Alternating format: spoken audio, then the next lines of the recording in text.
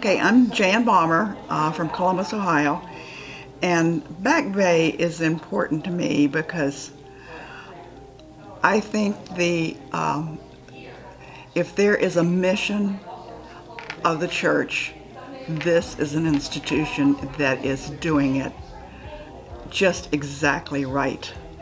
They're addressing all the right issues, making all the right connections, helping people like like Back Bay Mission has been doing for 100 years.